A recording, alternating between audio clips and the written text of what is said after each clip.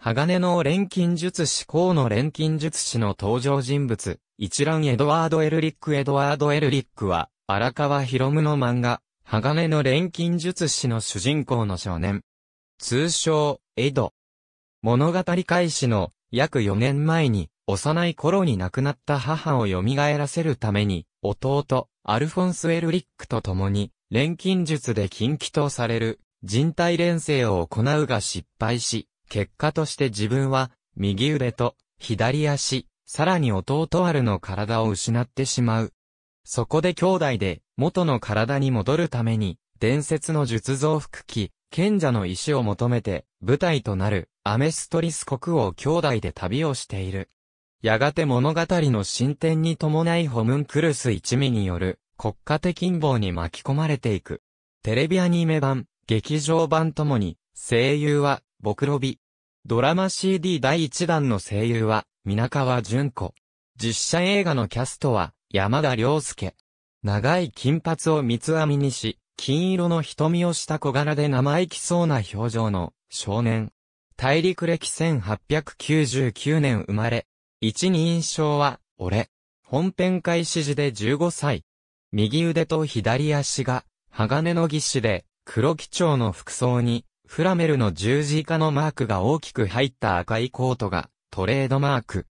少年の見ながら錬金術に精通しており、12歳にして国より、研究支援として、多大な援助が受けられる国家錬金術師資格を持ち、その機械鎧の特徴から、鋼という二つ目を持つ。これが、タイトルの、鋼の錬金術師を意味する。口述の過去から、錬成人を用いずとも手を合わせるだけで、錬金術を行使できることも、錬金術の天才とみなされる要因となっている。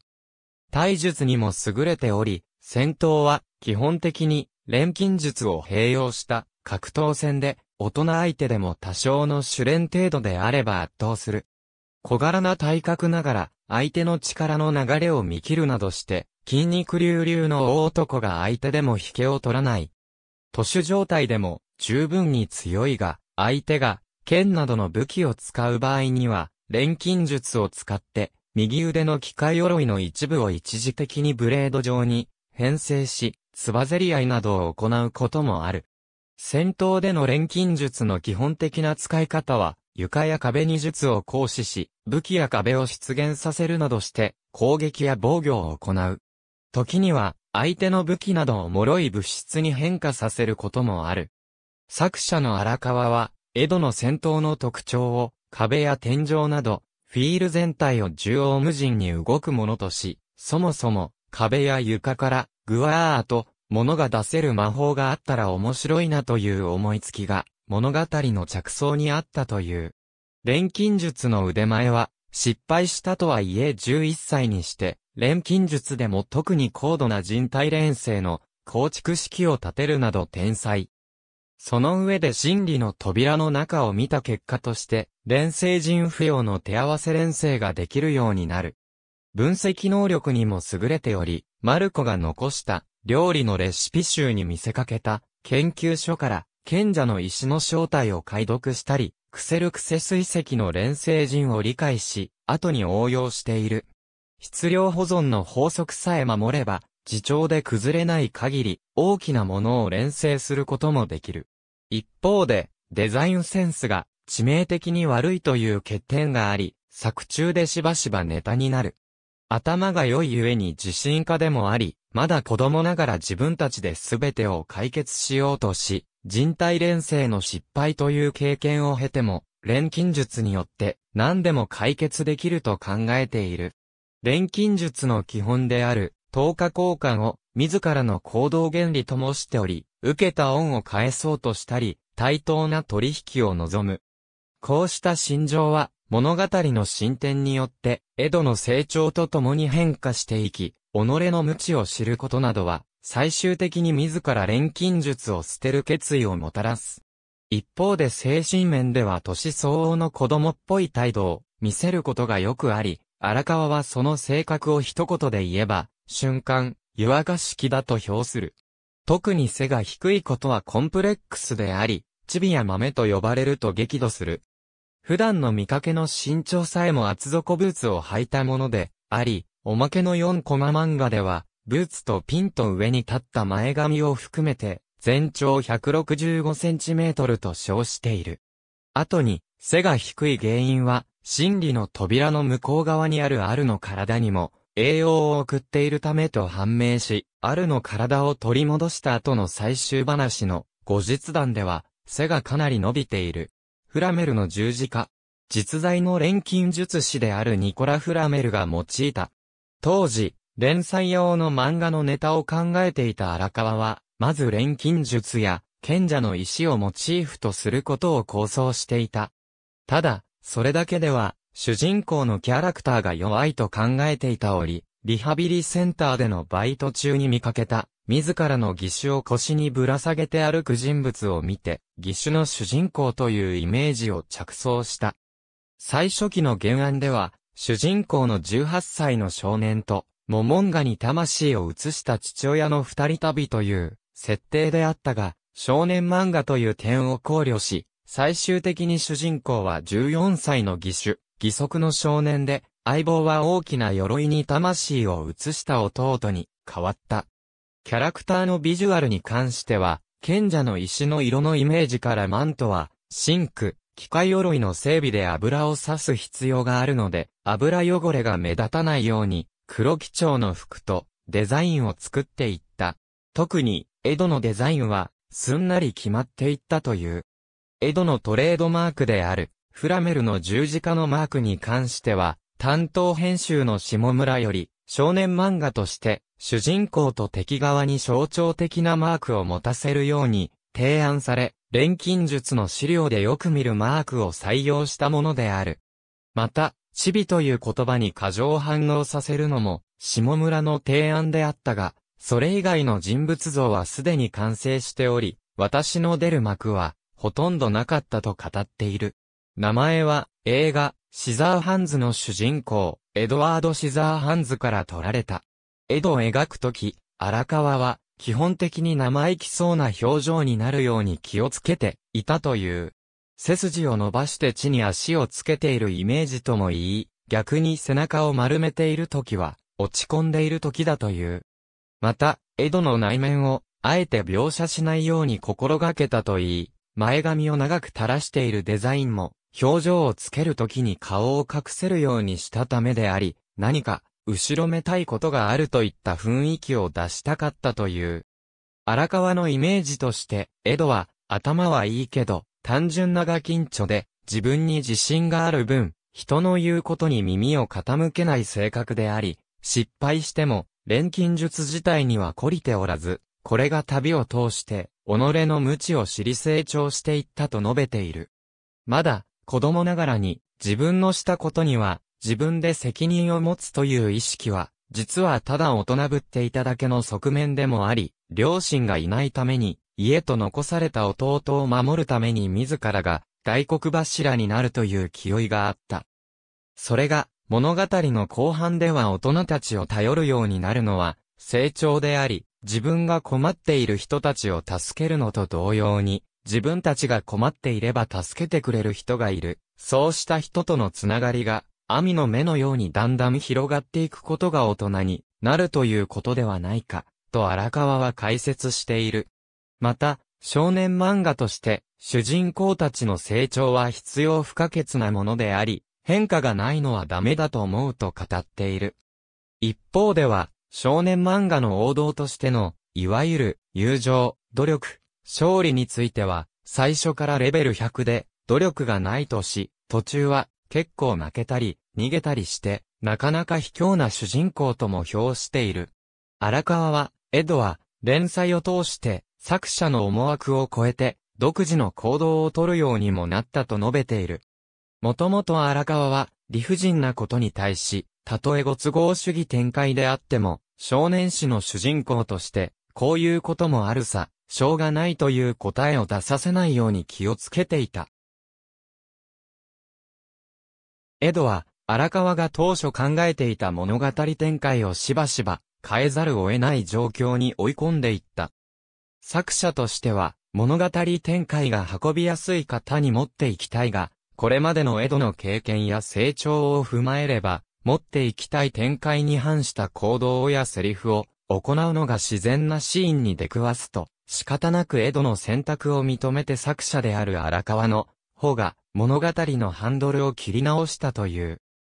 特に荒川は第41話の展開がそれであったと述べ、江戸のセリフ、もう誰一人失わない方法で、もし目の前で誰かが犠牲になりそうになったら、俺が守るわ。作者から見れば、もはやこの先の展開で誰も殺せなくなる、プロットの幅を狭めるもので困ったというが、エイドなら、絶対にこう言うから、もはやこの主人公にとことん付き合っていこうと覚悟を決めて描いたと解雇している。また、エドは、物語の途中で相手を殺さないように、明言するようになるが、これももともと荒川は、トライガンや、ルローニケンシンのような不殺の信念を持つ、主人公たちの作品が好きだが、自分では、そのようなシナリオは無理だと考え、連載初期には、ハードな旅ゆえにいずれエドは人を殺すことになると、想定していたが、結果的にホムンクルスも含めてエドが敵を殺すことは、ない展開になったと語っている。また、エドが、最終的に、錬金術を喪失するという結末については、荒川は、朝日新聞のインタビューに対し、主人公が得たものは何かから考えていったとき、いらないものがあることに気づいた、主人公のアイデンティティと呼べるものでした。存在意義を代価にしたということですとコメントしている。アメストリス国の東部にある小さな町リゼンブールの生まれ。錬金術師であるバンホーエンハイムとトリシャ・エルリックを両親に持ち、一歳下の弟にアルフォンスがいる。幼い頃に父ホーエンハイムが家を出奔したため、母トリシャの女手一つで育てられるも、エドが9歳の時に流行り病で亡くなってしまう。母の存命時から、父親の書斎に残された書物で、錬金術を学んでいたエドは、弟と共に、禁忌とされる人体錬成を用いて、母親を蘇らせようと考える。独学に限界を感じていたところを、偶然、リゼンブールに立ち寄った、錬金術師泉に、兄弟で弟子入りすることで、錬金術の基本と武術を学ぶ。2年の修行を終えて、リゼンブールに戻ってきたエドは、あると共に、母の人体錬成を行うが失敗し、代償として、右腕と左足、そして弟の体を失う。その数日後、偶然、将来有望な錬金術師を探していた軍人で、国家錬金術師のマスタング中佐がリゼンブールを訪れ、エドと出会う。彼から元の体に戻るために国家錬金術師資格を取ることを勧められる。本来、万民のための技術とされる錬金術を国家や軍への宝飾になる国家錬金術師は軍の犬と蔑まれるものであったが、エドは元の体と弟の体を取り戻すために提案を受け入れ、再起する。失った手足は、幼馴染のウィンリーが制作した機械鎧で補い、短期間のリハビリを経て、12歳で国家錬金術師という偉業を達成する。そして、元の体に戻る、有力手段として伝説にある、対価なしで術を行使できるという、賢者の意志を求め、アメストリス国中を弟と共に旅する。2年にわたる賢者の石を探す旅において、エルリック兄弟は、リオールのレト教の真相を暴いたり、ユースウェル炭鉱のトラブルを解決するなど、各地で活躍するも、肝心の石は見つからない。さらには、ウロボロスの入れ墨を持つ、謎の集団や国家錬金術師の命を狙う、傷の男の介入も受ける。イーストシティでは、親しくなった少女ニーナが、その父親のショータッカーによって、飼い犬と合成される悲劇にも見舞われ、この一件は、後々まで尾を引く。偶然出会った元国家錬金術師で、元国のティム・マルコーの情報をもとに、賢者の石の正体が生きた人間を素材としたもので、あること、さらには、その非人道的な実験に、軍上層部が関わっていることを知る。南部へと向かい師匠泉との再会によって、賢者の石以外を用いる、新たな道を模索しようとする中で、ホムンクルスの一味から離反したグリードと出会う。これは結果として、デビルズネスト総統戦に至り、ホムンクルスの一味の手がかりを失う。しかし、軍の動きに疑念を持ったエドは、首都セントラルシティに向かうことを決める。道中では、東の大国心からやってきたというリニチミと出会い、彼らに付きまとわれつつ、セントラルに着くとホムンクルスらの陰謀に巻き込まれたと思われる恩人ヒューズが殺害されていたことを知り、強い後悔に苛まれる。ヒューズ殺しに絡んだホムンクルスらの罠が張られる中で、エドは、東の国境沿いのクセルクセ水石に赴くことになり、そこで偶然からウィンリーの両親殺しの犯人が、傷の男だと知る。またセントラルに戻る道中で故郷に寄った際に、ホーエンハイムと再会し、反発しつつも、彼の助言から母を人体連成したものを墓から掘り起こし、最大のトラウマと向き合う。そこで、死者は生き返らせることができないという真理を確認し、別方向から自分と弟の体を取り戻す方法を考え始める。セントラルに戻るとホムンクルスラをおびき出すため、マスタングやリンラと協力し、傷の男を誘い出そうとする。グラトニーに飲み込まれるなどした末に、偶然にも、ホムンクルスラのアジトに迷い込み、そこで、ホーエンハイムに、そっくりなホムンクルス一味の狩猟、お父様と出会う。錬金術封じを用いる、お父様には手も足も出ず、さらには大総統ブラッドレーの正体もホムンクルスだと、判明し、マスタングと共に完全に追い込まれてしまう。ホムンクルスらは、ウィンリーを密かに、人質扱いにした上で、エドたちを大事な人柱だとして、目的の日までの安全を保障する。しかし、彼らの狙いが、国土全体に、賢者の石の連星人を書き、アメストリス国民全員を石の材料にしてしまう計画だとわかり、これを阻止しなければならない。エドとアルは、ホムンクルスラの監視下の中で、錬金術封じが効かなかった、傷の男と行動を共にする、少女名に手がかりを求め、彼女が向かったという北方ブリッグスを目指す。ブリッグス要塞のオリビエ少将とは当初信用されず、険悪な関係であったが、偶然に迷い込んでしまったスロウスの剣に対処したことで信頼を勝ち得る。軍上総部の陰謀も教えた上で、オリビエを協力関係を構築し、共に傷の男を捕まえようとする。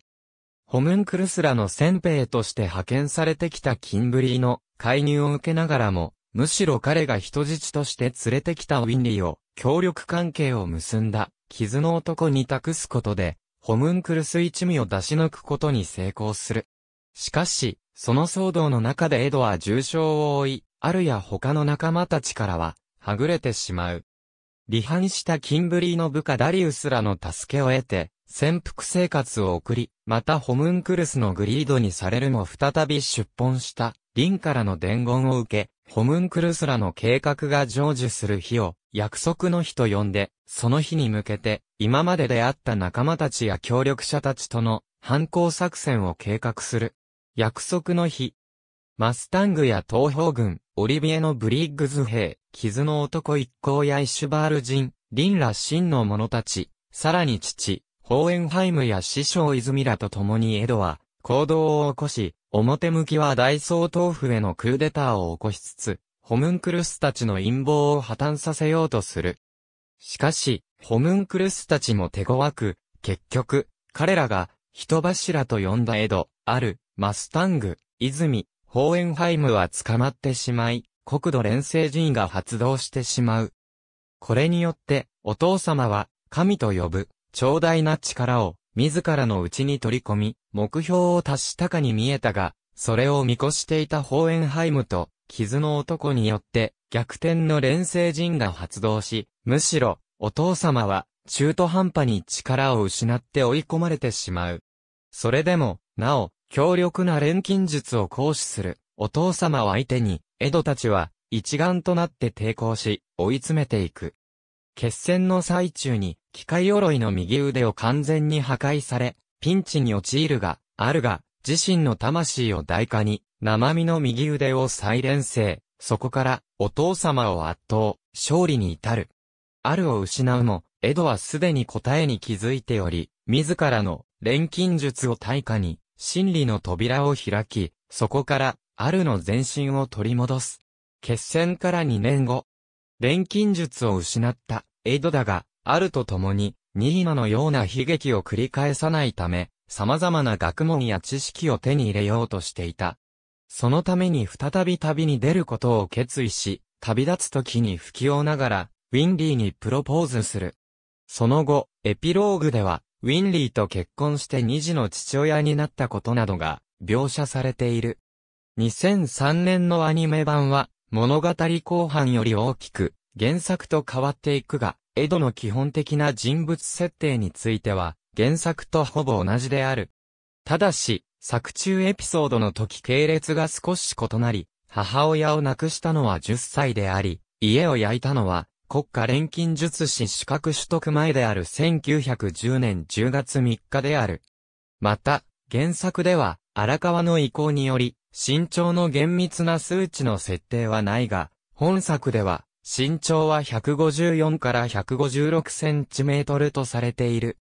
また、原作では、最終回のエピローグにおいて身長が大きく伸びるが、アニメ版では、本編終了後も低身長のままである。戦術の通り、2003年のアニメ版の前半は、おおむね原作の流れに沿う。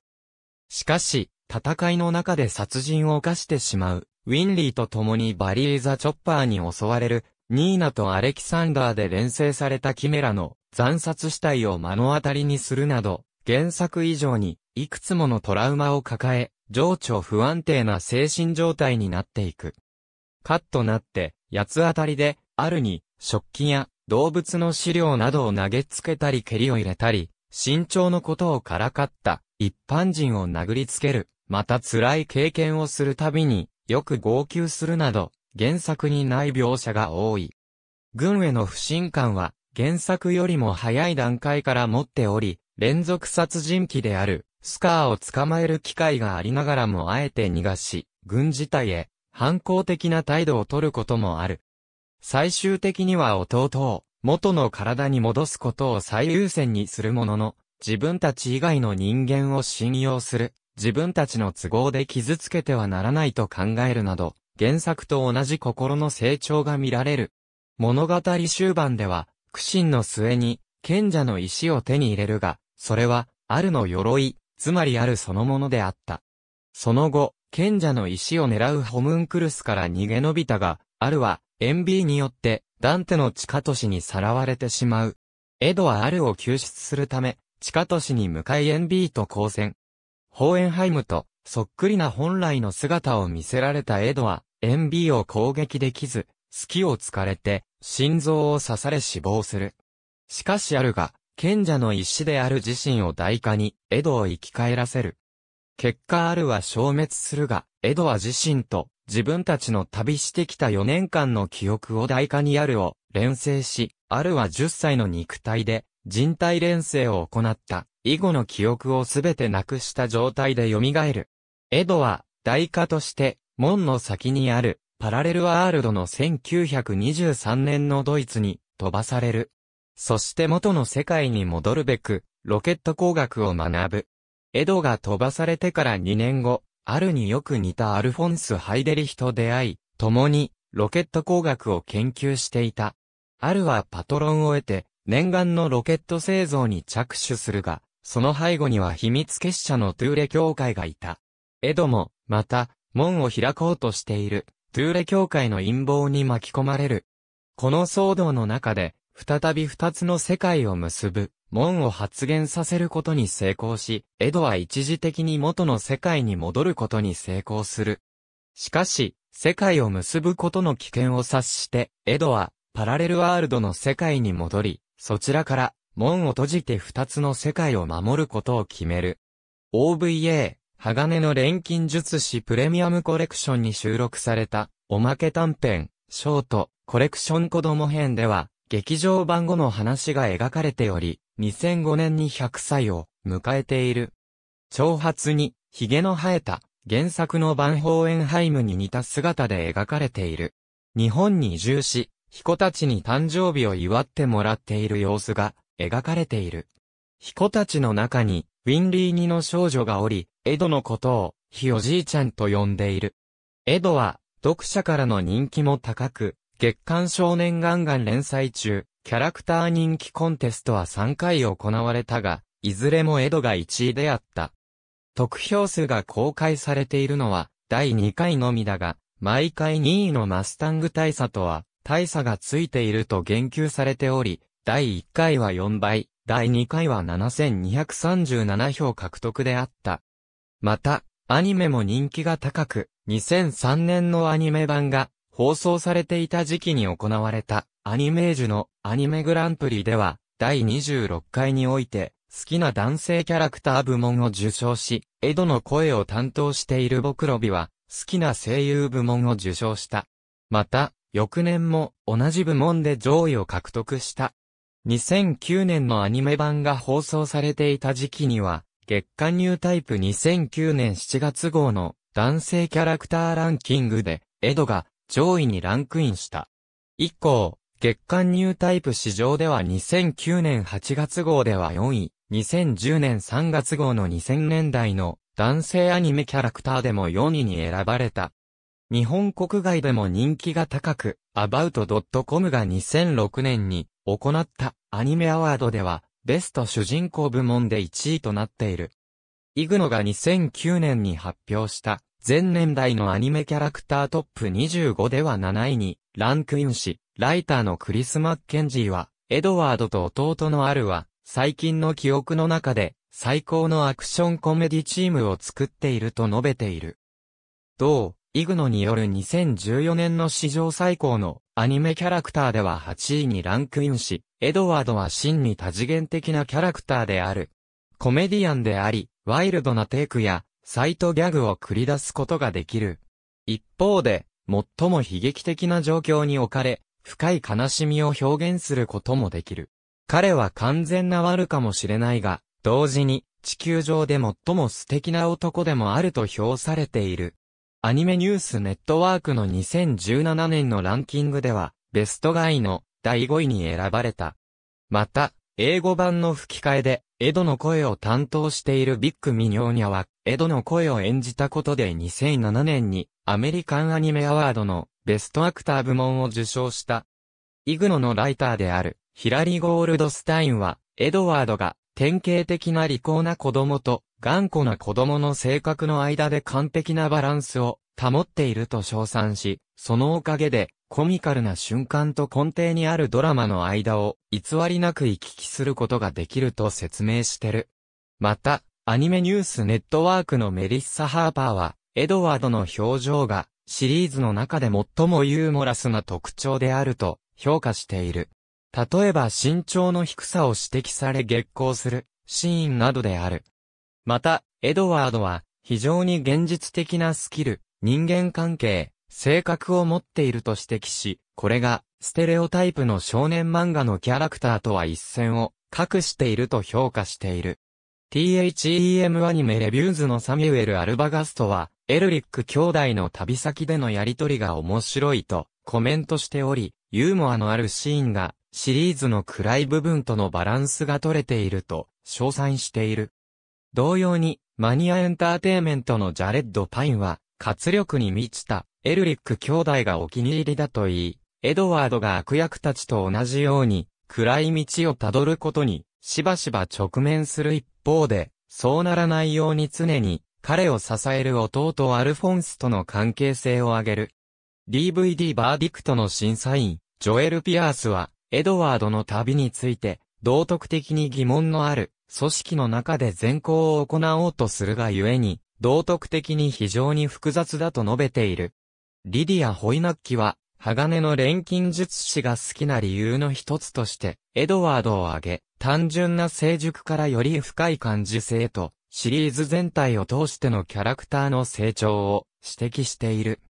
また、アクティブアニメのホリー・エリングウッドは、原作で父親に会った後に、かつて人体連成して失敗した母親を調査することを決意し、体を取り戻すための手がかりを発見したことで、このキャラクターは顕著に成長したと指摘している。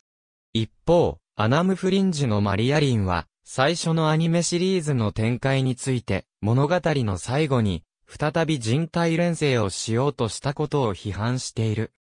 アルピーグファンのニール・チャンドラは、ゲーム、鋼の錬金術師と壊れた天使のレビューにおいて、主人公たちの戦闘や会話シーンでの躍動的な動きを楽しんだと語っていた。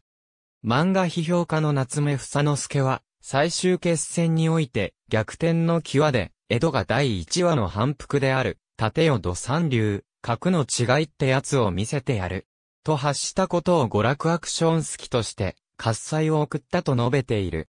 大田敏弘は、鋼の錬金術師が、機動戦士ガンダムや、新世紀エヴァンゲリオンといった歴代の日本の有名作品と同じ物語構造を持つと指摘しながらも、本作の得意な点として、主人公が全能性への欲求を断念することによって敵に打ち勝つとされている点を挙げている。